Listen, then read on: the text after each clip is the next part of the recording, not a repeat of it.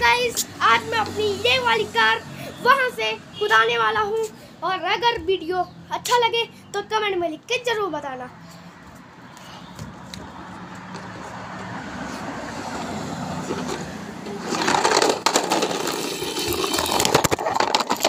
अगर मेरा car racing अच्छा लगा तो लाइक ज़रूर कर दीजिए।